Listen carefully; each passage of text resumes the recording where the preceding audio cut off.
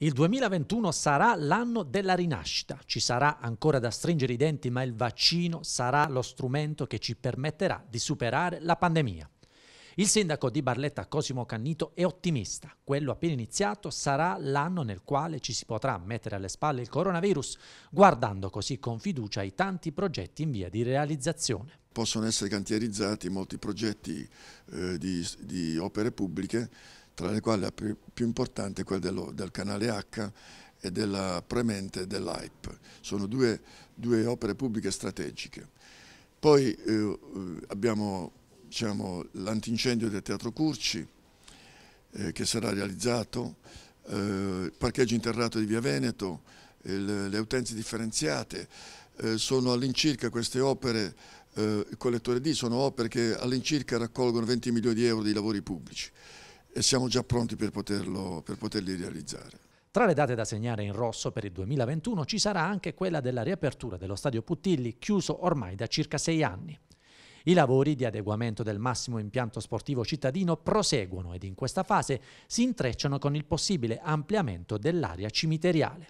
E Puttilli, anche questo sarà riaperto, eh, si sta lavorando bene, abbiamo anche rimosso un'enorme quantità di terreno che stiamo portando al, al, cimitero per consentire l'allargamento del cimitero, anche questo è un'ipotesi diciamo, progettuale che può realizzarsi quest'anno e, e diciamo, le cose stanno andando.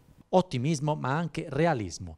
La situazione attuale non permette rilassamenti. Per Cannito quella relativa ad una possibile terza ondata di contagi appare ipotesi più che realistica. Serve stringere ancora i denti. Io non voglio essere un cattivo profeta, ma ho l'impressione che la terza fase ce la dobbiamo ancora sopportare sempre, in, sempre in attesa che si, ci sia il vaccino, che ci sia la vaccinazione diciamo, che ci sarà. E, adesso ancora qualche giorno, qualche settimana si potrà secondo me procedere alacremente alla, alla vaccinazione di tutte le persone. Per affrontare i primi mesi dell'anno bisognerà dunque armarsi di pazienza. Dal sindaco arriva un messaggio di vicinanza a tutti i cittadini e soprattutto a quelli più penalizzati dalla pandemia. Voglio incoraggiare i commercianti che sono stati massacrati, eh, veramente sono stati, eh, davvero sono stati massacrati dal coronavirus, per cui